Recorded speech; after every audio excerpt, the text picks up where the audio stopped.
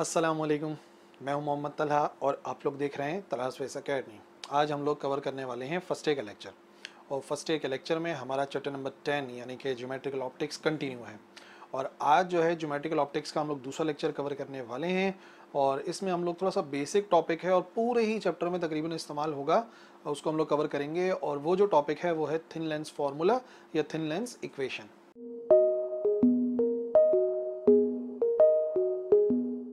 तो ये जो इक्वेशन है one upon F is equal to one upon P plus one upon Q ये आप लोगों ने मैट्रिक में भी स्टडी करी थी।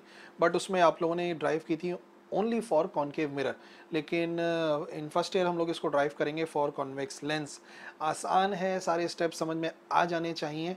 ठीक है पेपर के लिहाज से थियोरेटिकली उतने इंपॉर्टेंट नहीं है बट नोमेरिकल्स इसके uh, आने के बहुत ज़्यादा चांसेस होते हैं और बल्कि आते ही हैं। और यह है कि पूरे जितने भी टॉपिक्स हैं ना चैप्टर के अंदर कहीं ना कहीं हमें थिन लेंस फार्मूला उसमें इस्तेमाल करना ही पड़ता है।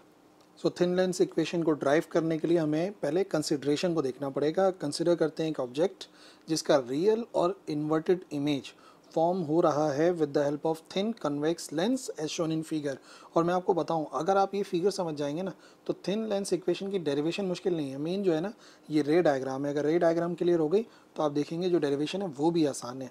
तो सबसे पहले जो हमने कंसिडर करना है, उसको देख लेते हैं। एक लेंस हमने कंसिडर कर लिया, ठीक है? और एक्स है इसका ऑप्टिकल सेंटर ये जो है ना इसका ऑप्टिकल सेंटर ये एक्स और इस लाइन का तो आपको पता ही है, ये लाइन कहलाती है प्रिंसिपल एक्सेस ठीक है अच्छा अब जो लेंस हमने कंसिडर करा है, उसके फोकल पॉइंट जो है, वो ये वाला आ गया, इस तरफ़ लेफ़्ट हैंड साइड और राइट हैंड साइड वाला ये आ गया प्रिंसिपल फोकस या फोकल पॉइंट यहाँ पर आ गए, ठीक है, जिसको हम एफ़ से शो कर सकते हैं, इधर वाला भी एफ़ हो गया, इधर वाला भी एफ़ हो गया, और कहाँ से ऑप्टिकल सेंटर से लेके फोकस तक का डिस्टेंस फोकल लेंथ कहलाता है? इस तरफ़ का भी, उस तरफ़ का भी। याद रखिएगा, ये जो प्रिंसिपल फोकस है ना, ये आता है कैपिटल एफ़ और जो लेंथ है, वो होती है स्मॉल एफ़ जिसे हम कहते हैं फोकल लेंथ अब एक ऑब्जेक्ट कंसिडर कर लेंगे लेफ़्ट हैंड साइड पर, और ये जो ऑब्जेक्ट है, इसकी जो हाइट है या इसकी जो लेंथ है, वो हो जाएगी ए बी के बराबर। और ये कितना दूर रखा हुआ है लेंथ से?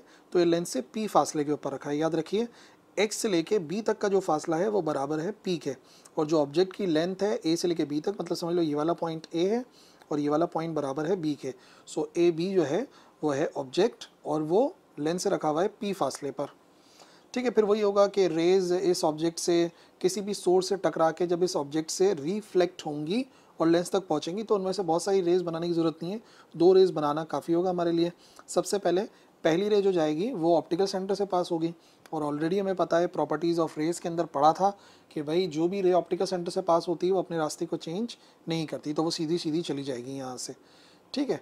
अच्छा दूसरी रे गुजार देते हैं, जो सेकेंड प्रॉपर्टी थी, यानी कि फोकस से गुजरती हुई रे जाएगी और फिर लेंस से गुजरेगी।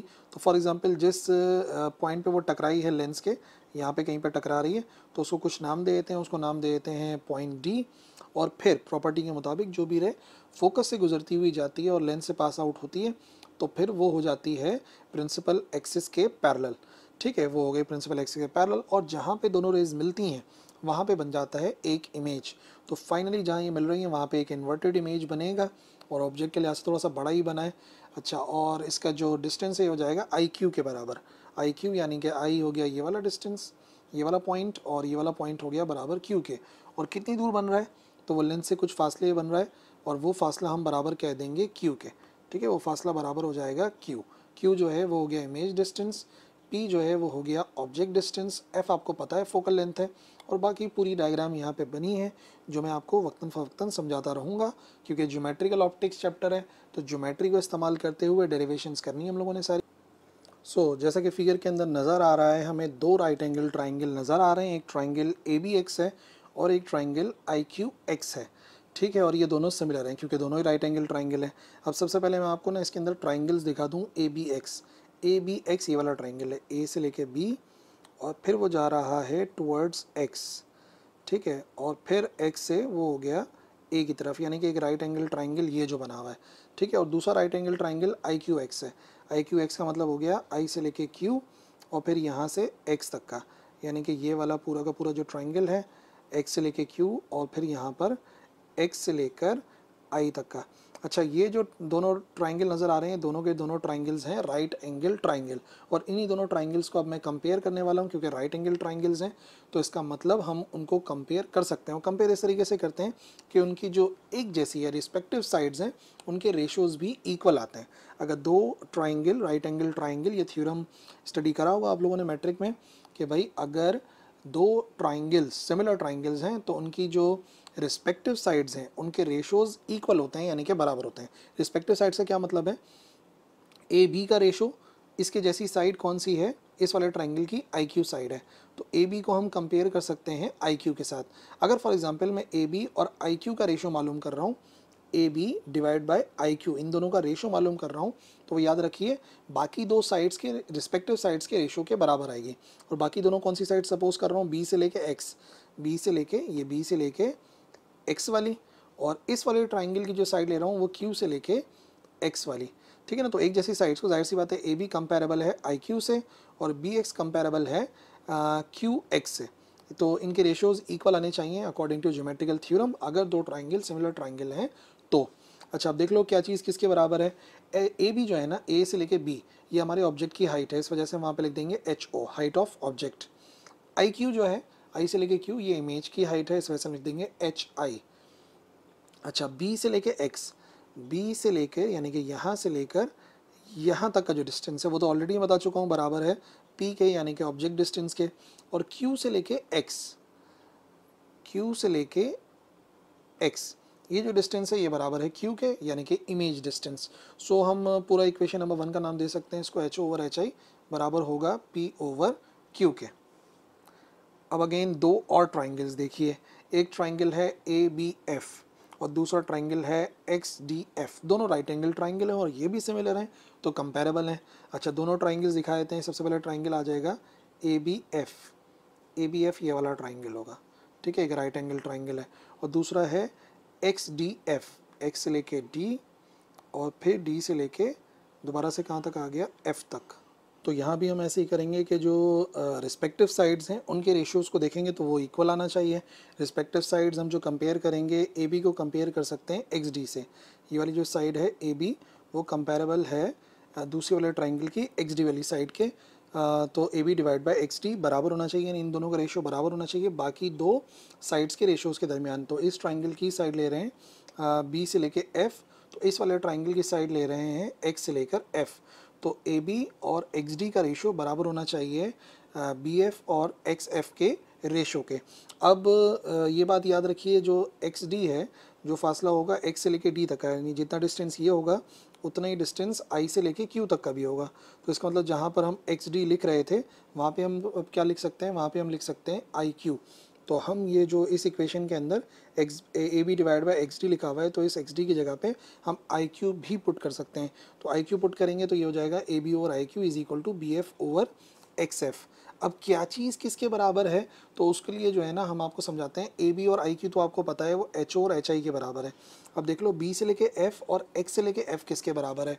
तो देखो बी से लेके एफ़ यानी कि यहाँ से लेके यहाँ तक का डिस्टेंस ये जो बी से लेके एफ़ तक का डिस्टेंस है, ये किसके बराबर है? तो देखो टोटल डिस्टेंस यहाँ से लेकर यहाँ तक का पी है। उसमें से अगर मैं एफ़ तक का फासला निकाल दूँ तो मुझे ये वाला फासला मिल जाएगा, यानी कि बी से लेके एफ़ तक का।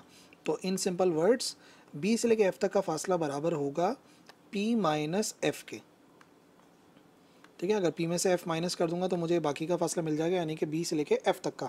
और बाकी एक्स से लेकर एफ़ तक का फासला तो आपको पता ही है एक्स से लेके एफ़ तक का फासला बराबर होता है फोकल लेंथ के। तो याद रखिए बी से लेके एफ़ पी माइनस एफ़ के बराबर है और एक्स से लेके एफ़ तो बराबर है ही फोकल लेंथ के। इसी वजह से हम क्या करेंगे बी से लेके एफ़ की जगह पे आ जाएगा पी माइनस एफ़ और एक्स से लेके एफ़ तक का जो फासला है वो बराबर होगा हमारी फोकल लेंथ के।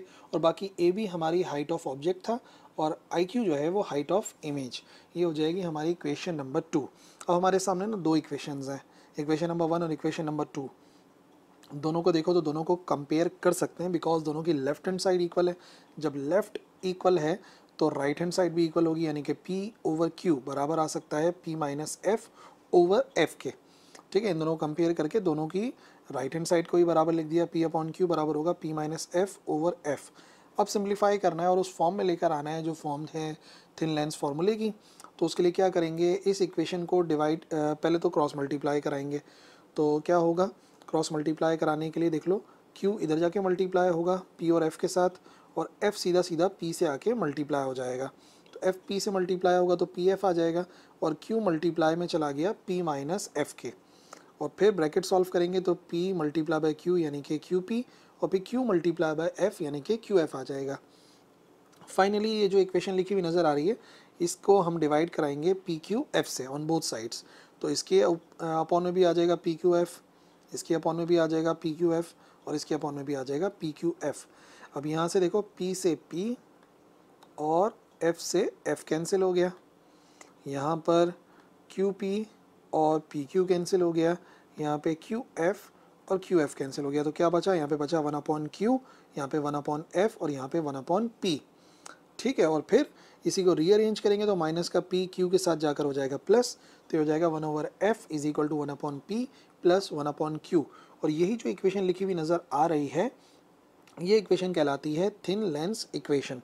और इस थिन लेंस इक्वेशन की ख़ास बात ये है कि इसमें ये जो एफ़, पी और क्यू है, याद रखिए एफ़ के बारे में तो लास्ट लेक्चर मैंने बताया भी था कि एफ़ पॉजिटिव होता है फॉर कॉन्वेक्स लेंस और नेगेटिव होता है for concave lens P for real objects positive होगा फॉर वर्चुअल ऑब्जेक्ट्स नेगेटिव होगा।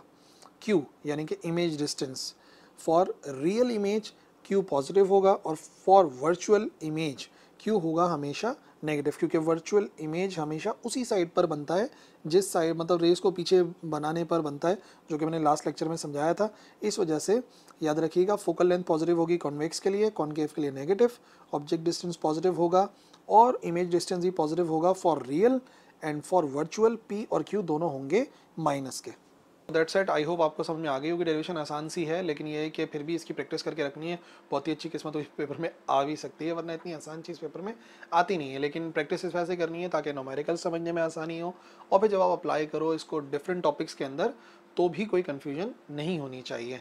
इस लेक्चर के लिए इतना ही, अगले लेक्चर मिलेंगे। अल्लाह हाफिज़।